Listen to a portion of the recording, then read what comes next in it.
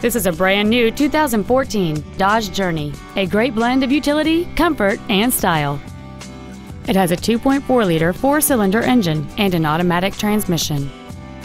All of the following features are included. Traction control and stability control systems, air conditioning, cruise control, 12-volt power outlets, front multi-stage airbags, rear seat child-proof door locks, steering wheel controls, front and rear reading lights, heated side view mirrors, and a multi-link rear suspension. This automobile won't last long at this price. Call and arrange a test drive now.